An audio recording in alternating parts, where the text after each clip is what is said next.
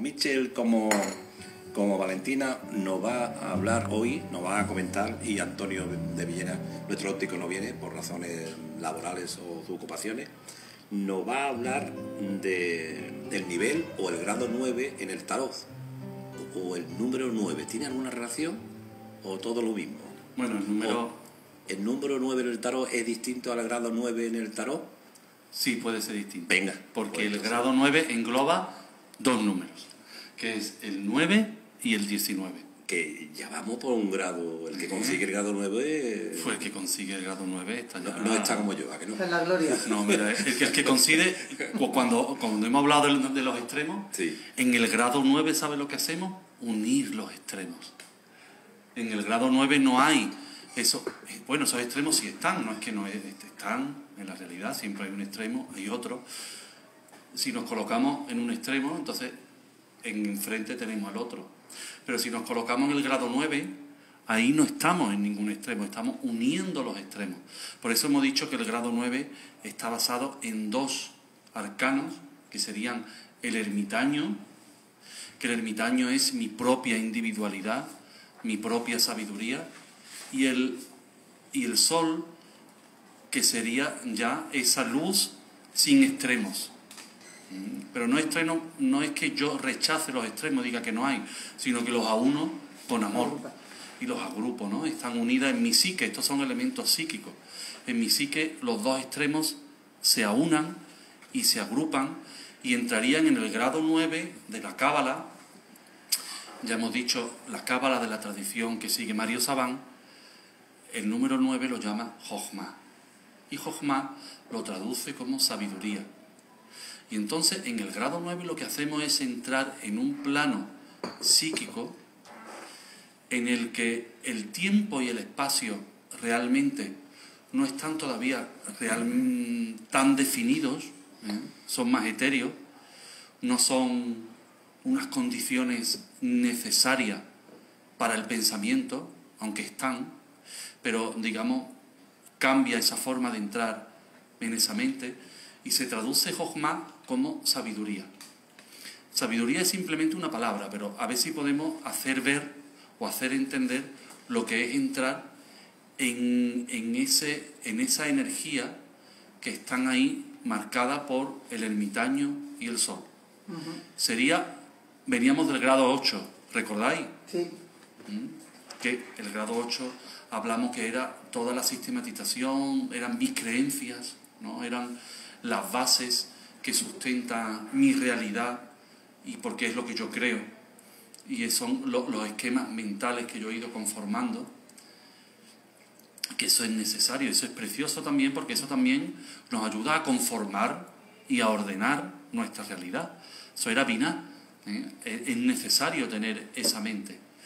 Pero esa mente, al, al purificarla y al seguir indagando en, en la realidad en la que vivimos, ocurre algo maravilloso, que es que salta hacia arriba y entonces se vuelve receptiva como una copa y se vuelve receptiva hacia otro tipo de realidad.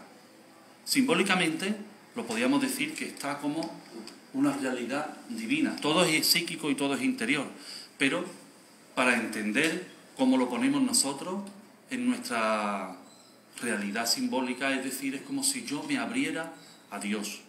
Sería algo así como ser receptivo a una energía que viene de arriba. Y es una maravilla Perdón, el ermitaño parece que está en una montaña, o está en una montaña, ¿no? Por lo visto lo que he visto otras imágenes. Claro, Está, está en una montaña. claro, porque ha subido. El ermitaño ya ha caminado y ha subido por la montaña. Mira, el loco, Eso, el loco, ¿te acuerdas? Tiene un bastón. A ver si aparece por aquí, rápido. El loco tiene un bastón y él tiene otro bastón. Él quiere decir el, el ermitaño. ¿Ahí estaba ya? Ah, aquí, mira. Gracias. ¿Ves? El loco tiene un bastón rojo. Su maestro es el ermitaño. Mira, el loco va haciendo el camino de Santiago. Todo lo que hablamos el fin de sema- la semana anterior del camino de Santiago este, es el, el alma.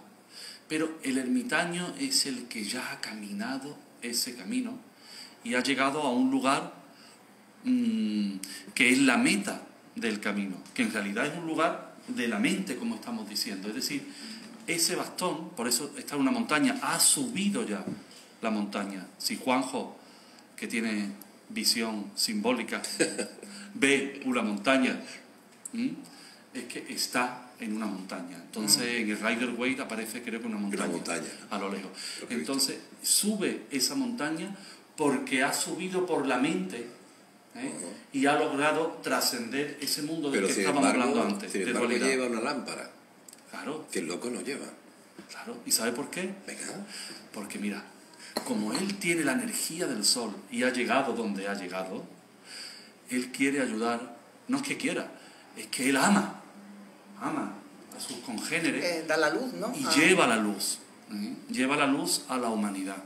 No es una luz que se queda él, sino él en ese esfuerzo de llegar donde ha llegado hace también un esfuerzo mental con su mente binar y para que lo entiendan, pues entonces trabaja aún más. Hace un trabajo durísimo con ella o con él mismo para poder explicar al lugar donde ha llegado. Y entonces es luz para la humanidad.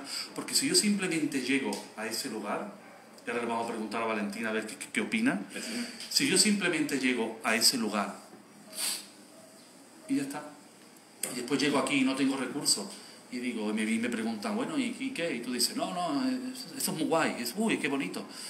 No, necesito una explicación, ¿no? Necesito razonar, que tenga una lógica para yo poder expresarme con mi lenguaje, o con pintura, o con símbolos, o con música, o con el arte. Entonces hago un esfuerzo. Es, yo creo que este nivel es el nivel, se me está ocurriendo ahora también de los artistas. ¿eh? Porque yo recibo realmente, yo llego a un lugar de creatividad pura, donde, eh, mm, digamos, lo que se manifiesta ahí es el infinito.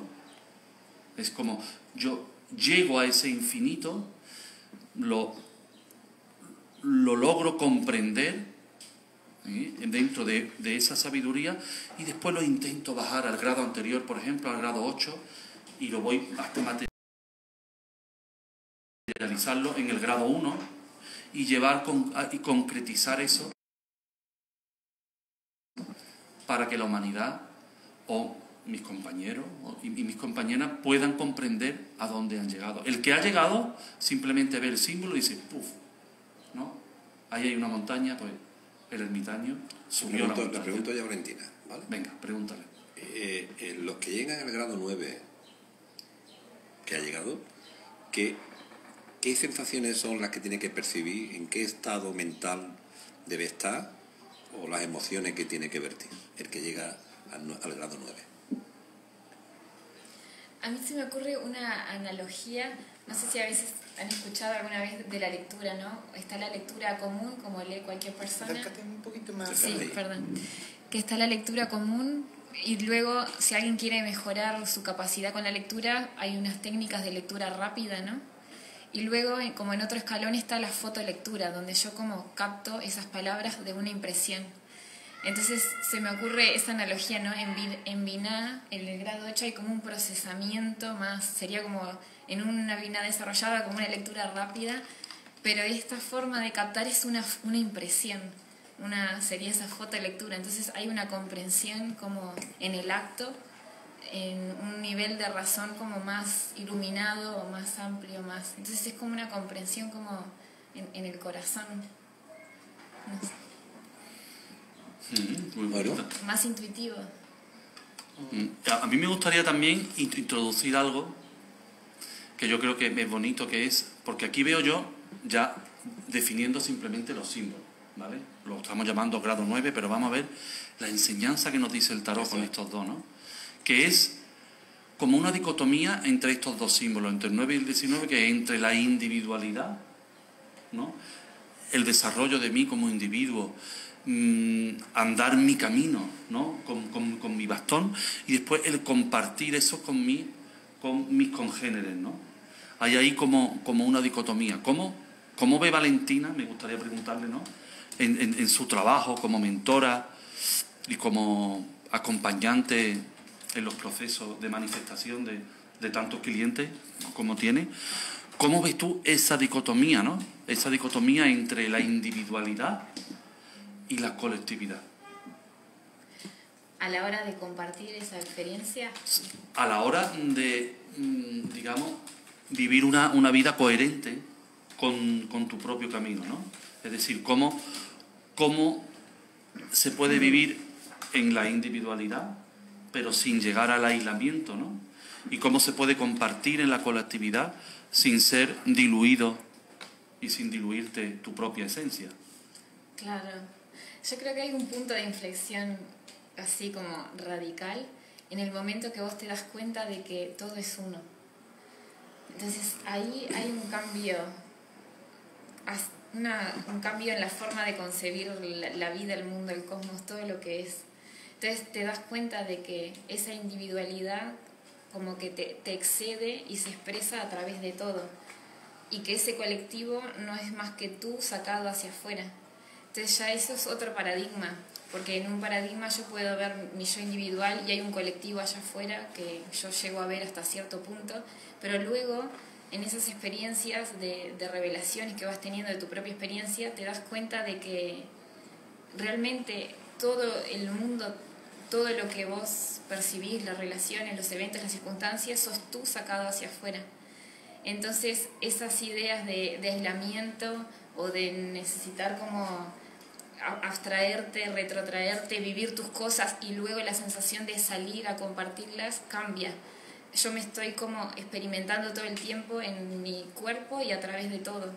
Entonces, esa secuencia lineal que era primero lo vivo yo y después lo comparto, pasa a ser otra experiencia de en tiempo real, yo estoy viviendo algo dentro de mi cuerpo y estoy viviendo algo fuera de mi cuerpo, pero siempre es conmigo. Mm. Entonces eso cambia, ¿no? La, la, idea de lo que es compartir. El ermitaño lo podemos asociar con muchas cartas de tarot, ¿no? Y significar con la, el, asociar una carta con otra. Sí, cuando... Por ejemplo, tú la has asociado con el sol. Claro, por ser un 9, el sol es un 19 ¿Y por el significado de de la carta podemos asociarlo con otra más? Sí, pues el, el, ermitaño tiene relación con todas las cartas. Puede tener con todas. Pero cuando hablamos de ermitaño no es el concepto que tenemos de ermitaño de una persona oculta, escondida en una cueva. Eso hay que explicarlo bien. Eso es lo que estaba, eso es lo que estaba explicando eh, Valentina, ¿no? Bueno, es que la gente no tenga un concepto ya, que el ermitaño es que el concepto que tenemos, una cueva metido, ¿verdad? Sin salir, sin manifestarnos ahí. Por eso el grado 9 es maravilloso, tiene la unión de esos dos, para que no nos confundamos. Ermitaño lleva H. Y en español no lleva H, y en francés tampoco, l'ermite, y lleva una H. Porque no está haciendo referencia realmente a un ermitaño que se retira a una cueva para encontrar ahí la luz no es esa la idea. Esa es una idea del el ascetismo. Pero aquí vamos más a una idea más tántrica, que la luz ya está en mí y está en todos, y la disfruto y la gozo. Hermes, la H tiene que ver con Hermes. Hermes Trismegisto, el tres veces sabio, el que traía la triple sabiduría. También Hermes es el mensajero de los dioses. Era Mercurio en Grecia.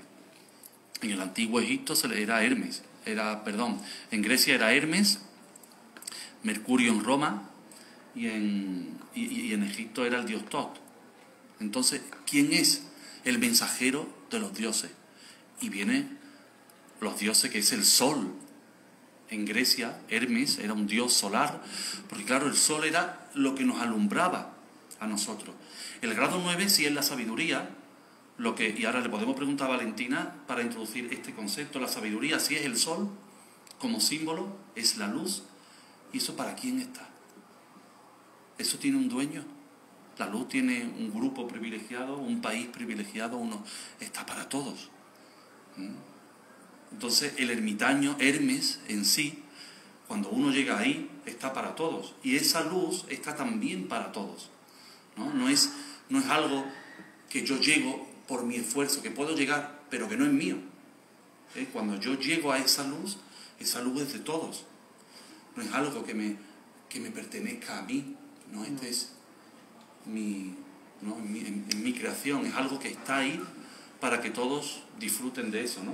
Eh, ¿Cómo entiende Valentina el entrar en esa mente universal que estaría representando? ¿Cómo en tu sistema de, de entendimiento de la vida, ¿cómo explicaría la llegada a esa mente? Em, ¿Qué pregunta? bueno. Bueno, hay, capaz que puedo separar, por una parte se suele hablar a veces de la parte racional, la parte analítica, eh, a veces se asocia eso a la parte consciente, como esa, esa mente que clasifica, escudriña, dice esto es así, esto es así, ¿no? Y que es muy consciente de esas cosas. Y después hay otra parte que se le llama la parte subconsciente, que es lo que vendría está más relacionado al grado 9 que habla Mitchell y que es como la parte más intuitiva, es una parte profunda, ¿no?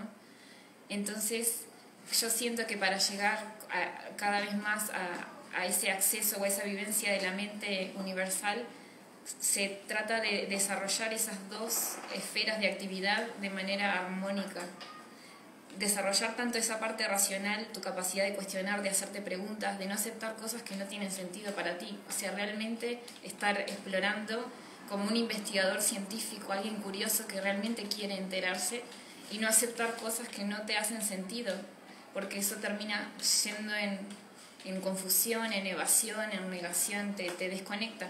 Y por otro lado, desarrollar esa parte intuitiva a la par. Entonces es como que se van solapando y se van tejiendo como en una forma, eh, en una sola forma de, de, pensar que sería como un pensamiento, como que pienso y siento al unísono. Y, en, y en, en, la medida que yo voy desarrollando esas dos esferas armónicamente, voy generando como ese canal central que me hace acceder a esa mente. Eh, porque eh, de verdad, hasta que llegó Mitchell, yo de tarot, de tanto leer, pues uno va asimilando detalles de la figura, del nivel, la aplicación de... Va uno investigando de verdad y se va metiendo en el tema la simbología tan grande que tiene la, las cartas de tarot y el nivel. Y deduzco, deduzco en mi opinión, que el ermitaño tiene algo de equilibrio, sobre todo teniendo en cuenta los niveles donde venimos, el equilibrio creo que se lo da el bastón, la misma luz, el mismo saber estar, digo yo, mm, ¿cómo conseguimos el equilibrio que consigue el ermitaño a ese nivel? A ese nivel, a otro nivel no sé.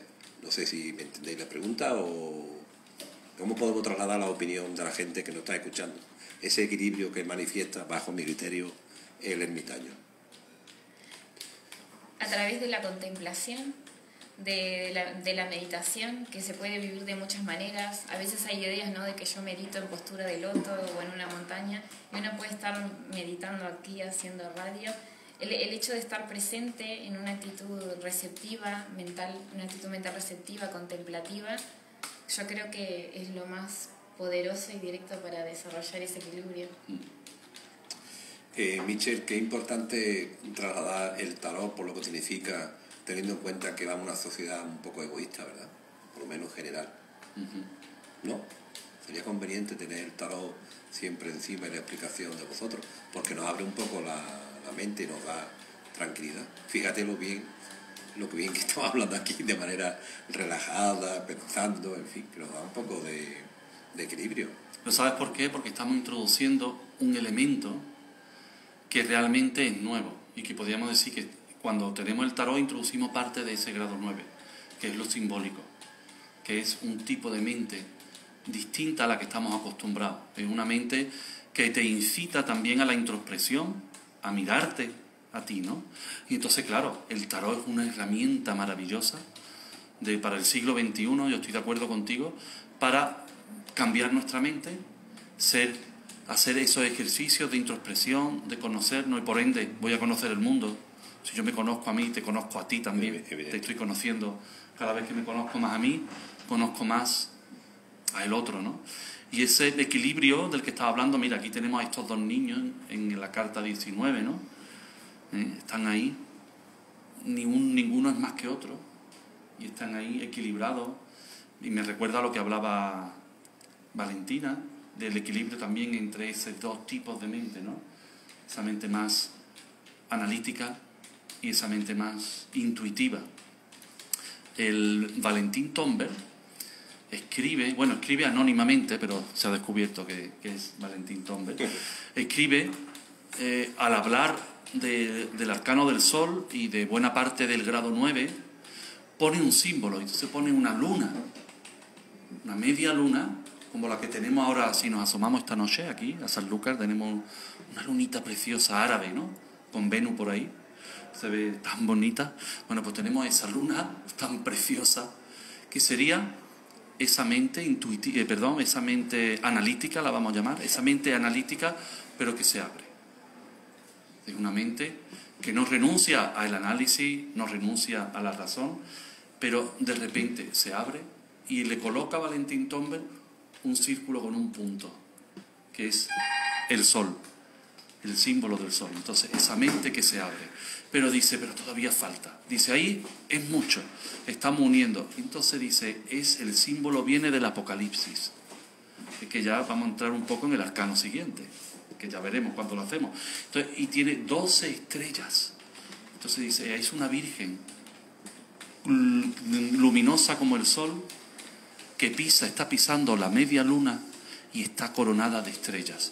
Y entonces él dice, es la unión entre la razón con la intuición, pero dentro de un marco de dos estrellas que es lo cósmico, dentro de un orden cósmico, dentro de, unos números que, que están ahí conformando el universo. Entonces entro ahí y dice, y ese es el grado 9. Cuando yo logro unir todos esos símbolos, es decir, el orden cósmico con las doce estrellas, representado por las constelaciones, por lo cósmico, por las estrellas, con la luminosidad del sol y con la receptividad de la luna, wow, entonces ahí, dice Valentín Torme, se entra en un, en un grado 9 que es en sí mismo es un gozo tremendo también entrar en esa mente. Y lo que me gusta es la llegada al planeta, de nuevo, a la realidad que yo voy a, conformar para llevar esa luz ¿no? como, como una guía, sobre todo para mí. ¿Eh? Eh, eh, mm, Mario Sabán, lo escuché ayer, estaba escuchándolo, y decía, la gente se cree que yo escribo los libros para, para la gente pero yo lo escribo para mí, para ordenarme yo. Y eso, eso es la maravilla, por eso el ermitaño lleva aquí un libro, también oculto entre los ropajes, ¿no? Es decir, a veces escribimos para ordenar nuestras ideas. Y cuando yo ordeno mis ideas, si son valiosas, las puedo compartir con los demás y le pueden ayudar a los demás también a, ordenar sus ideas para llegar a un sitio que es común a todos. Eh, Valentina, en esta mentalidad del ser humano, en este nivel o otro nivel, el sí o no son excluyentes. ¿En qué sentido? En todos los sentidos, en este nivel es sí. Excluye, si digo que sí, en el nivel 9 o el grado 9, excluye el no, y si digo que no, excluye al sí. Nuestro, nuestra mente, ¿son excluyentes en general?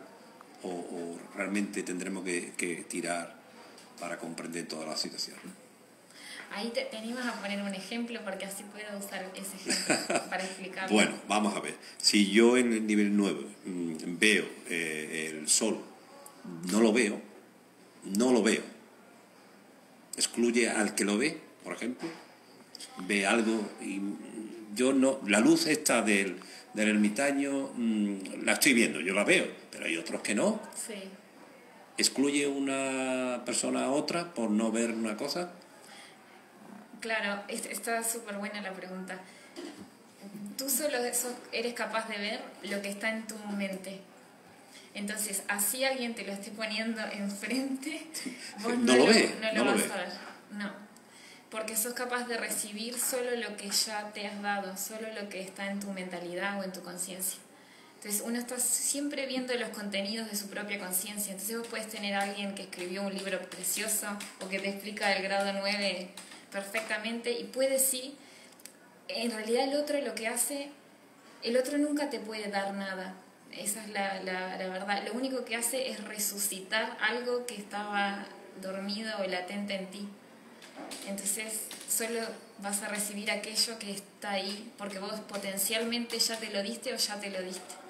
Sí. Muy bien. Y he visto también, eh, Michel, que el ermitaño también alguna gente lo representa al revés. ¿Tiene alguna simbología, algunas cartas que lo gira a otro camino. ¿Qué quiere decir al revés? a ver, al ¿Boca revés. abajo? No, no, ¿O- no, no, que en vez de ir de izquierda a derecha andando, Ah, va de derecha, de derecha Sí. a izquierda. Sí, sí. ¿Tiene otra simbología o tiene otra? es, es- es distinta, ¿no? Porque hay muchas tradiciones de- del tarot. El ermitaño en, en realidad está aquí, mirando a- hacia la izquierda, porque él ya ha llegado, Vale. digamos. El, el loco va hacia la derecha porque quiere llegar a un sitio, tiene un objetivo. Y aquí es como el símbolo, bueno, nadie ha llegado nunca y todo es uno, ¿no? Todo es uno, porque no hay una meta. Todo sucede en el grado 9, en realidad todo sucede al mismo tiempo, porque la el tiempo no está todavía ahí realmente conformado tal y como lo entendemos nosotros. Eh, hay un tiempo, el tiempo holográfico, infinito, y se mueve, no es el mismo el tiempo para alguien que, para un ser, pa- para un árbol que dura mil años, que para un, gatito que dura 14. Entonces, el ermitaño está aquí en actitud receptiva, está iluminando su pasado también, porque está llevando luz a esos recuerdos que él tiene, y está también de una manera receptiva como, como esperando. ¿Mm? No, no quiere llegar a ningún lado, es que ya ha llegado. Por eso me gusta representarlo en las tradiciones hacia la izquierda. Pero los que van hacia la derecha también tienen un sentido, ¿no? Y es que el ermitaño sigue caminando hacia adelante, como diciendo, no se queda aquí. Entonces, mira, Alejandro Jodorowsky, que es un gran maestro simbólico, define el ermitaño como que está mirando hacia la izquierda, pero camina de espalda. ¿Eh? Entonces va caminando de espalda. Porque primero no, no tiene miedo hacia dónde va, porque le da igual no conocer lo que viene, no necesita tener a la, humanidad en este sentido. ¿no? Este sería entonces el símbolo del maestro, de ese maestro que encontramos y es capaz de despertarnos, o como decía Valentina, resucitar lo que ya tenemos. Pero ese maestro es interior, ese maestro a veces aparece fuera, aparece fuera, pero porque yo ya lo tengo en mi interior. El maestro de verdad es interior y a veces lo reflejamos afuera en un símbolo o en una persona. Valentina como mentora, que es más o menos que nos guía, entendiendo nuestra mente, nuestra, nuestra mentora espiritual, ¿no? Así lo entiendo yo, ¿no? Como alguien que nos guía en nuestra manera de actuar, ¿no? Lo que es un mentor. Sí. Sí, un mentor es como... Yo lo veo como... Es una suerte de guía, pero un mentor te facilita darte cuenta que vos sos tu mentor. Ah, bien, Sí. pues estupendo. Ahí donde veo yo, tanto eh, ser mentora como a través del tarot, como nos explica bien Miche, tenéis una función de abrir un poco la mente, porque mm, en realidad por, nuestro, por nuestra educación, por nuestra formación, por nuestro entorno, nuestra mente está muy poco abierta, estamos muy cerrados en muchos conceptos, ¿cierto no? Tenéis una labor muy complicada, ¿no? Porque lo que estáis hablando mm, cuesta entenderlo, sobre todo a la gente que no... ¿eh? Tenéis una labor muy complicada. ¿Y eso se consigue? Sí, yo, yo no, no me dejo de sorprender la, el poten- la genialidad de todas las personas, porque es, hay muchos como prejuicios o supersticiones, pero cuando la persona realmente se devuelve a sí misma y se empieza a restablecer esa confianza, es como que acabas de pulir un diamante y la persona es una fuente de sabiduría. Como que algo se restablece ahí y de un momento a otro esa persona ya está, ya se guía, ya se sana, ya se... Y eso estuvo siempre. Entonces no es- ni siquiera es algo como que se aprende, es algo que se destapa, como que todos nos enseñamos a nosotros mismos. Dificultades, Mitchell, que tenemos mentalmente, a qué se debe que estamos tan cerrados y abiertos a conseguir cuando hablamos de niveles de grado, que todo es conformación de espiritual, que, que nuestro comportamiento a, a interpretarlo al sol de una manera no solamente la luz egoísta que nos da, sino el esplendor de todo el mundo. Eso se consigue, se puede conseguir, es difícil. Mira, podemos decir que es difícil, pero eso es una creencia también. Yo puedo decir, no, es muy fácil porque puede serlo.